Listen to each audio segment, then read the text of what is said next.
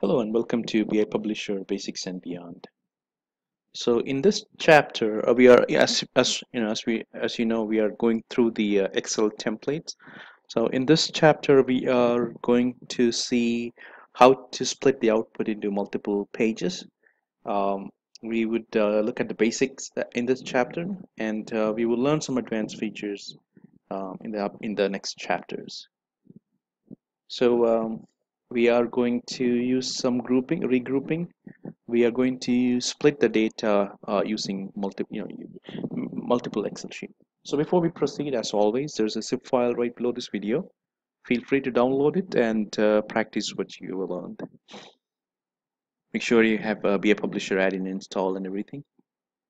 So let's look at the output. So if you look at the output um, this is what we are going to build. Uh, we are going to build a, a template with you know which will give the department department name and the employees in the department along with the total salary for the department.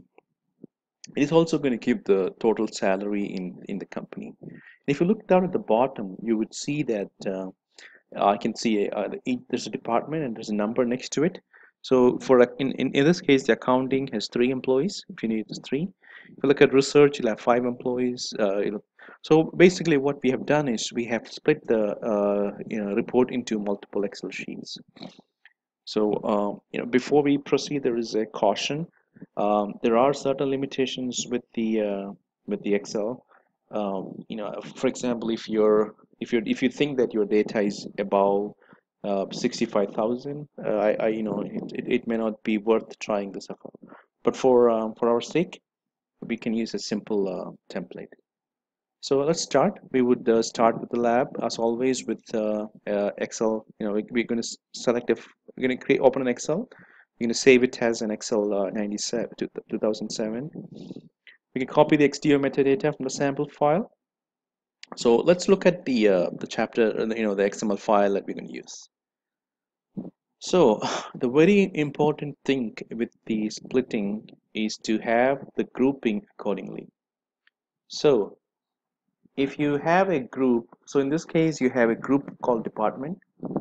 So we are going to split by department. So there is a group, there is a root, there is a top group, and there's a child group.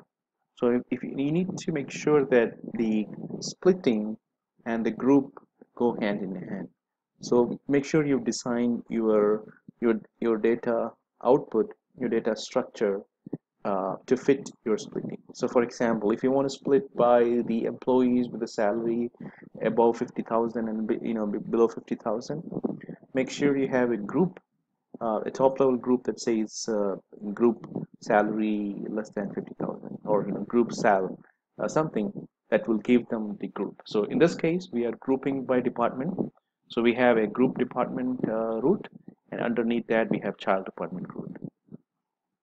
So you cannot either, the, the, what I'm trying to say is we cannot uh, regroup in a, you know, we can re, we cannot regroup and use that uh, to split. The splitting is based on the grouping that's from the output. So let's start with the sample template. Uh, we're going to uh, we're going to create a template something like this and uh, we're going to build some variables. Let's go ahead and do that. So if you are familiarized with the other uh, if you're familiar with the other videos you would see that I have created multiple versions of the uh, as we go along we are, we are going to save at different checkpoints. So the uh, first checkpoint is for zero.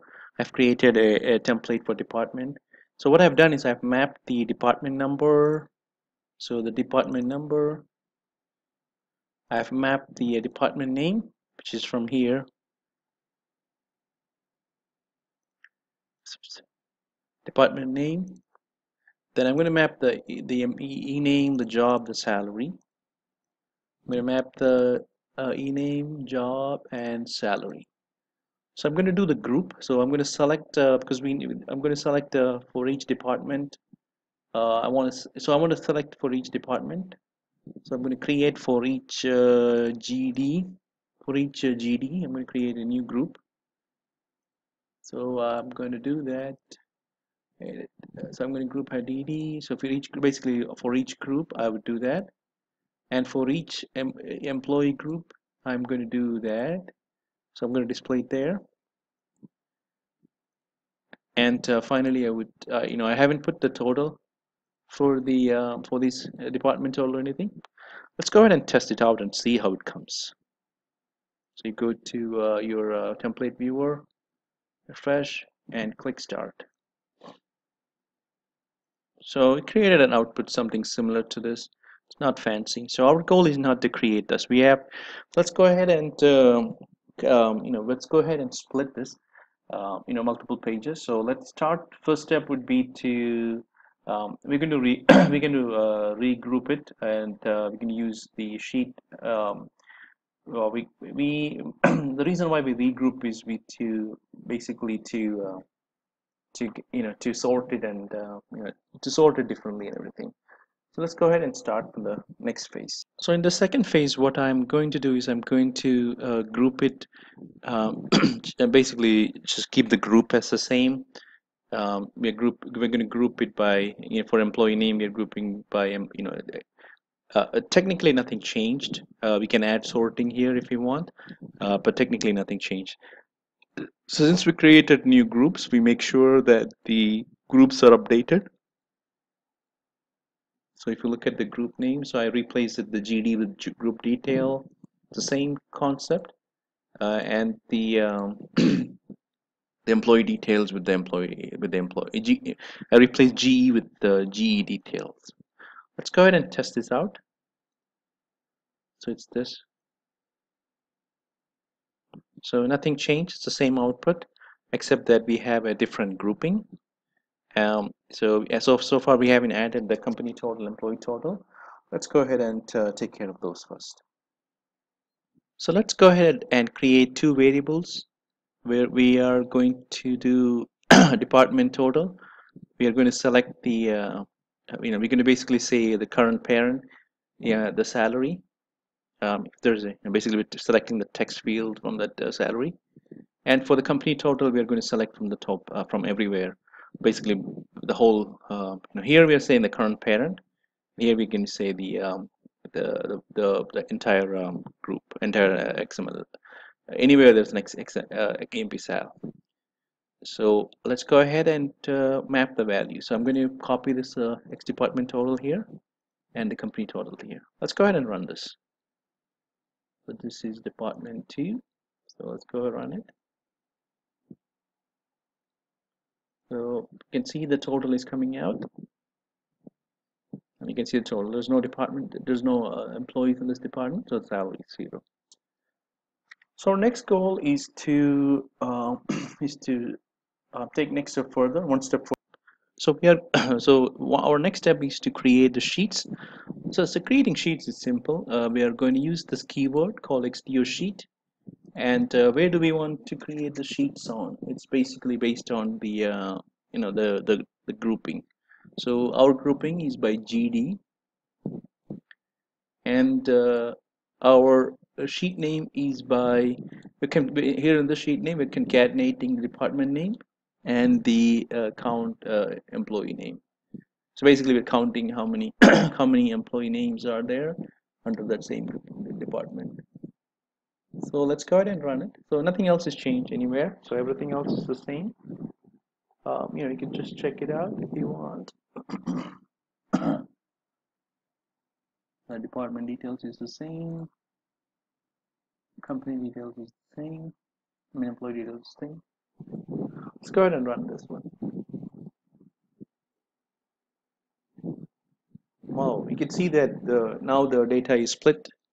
Well what's need uh, accounting. So something is not right. The uh, the you know the information is not coming properly. Let's go ahead and do some research and see what happened. So as you noticed uh, we didn't see any detailed data for the uh, department for basically we didn't we saw a blank excel sheet. So um, let's look at the uh, definition. So uh, ah that's a problem. So we are grouping so we have a, a, detail which is we're going to split it. So we don't need this uh, detail group because we're going to split it by the group this group. So for each group it's going to build its own uh, so basically this will be the group. Uh, we're going to split it and uh, you know we don't need to refer this uh, department details. Let's go ahead and remove the department details. Let's go ahead and delete this. So I'm going to delete this. So we no longer have the department details. Let's go ahead and run. So I've saved it as a version 4 so let's go ahead and run this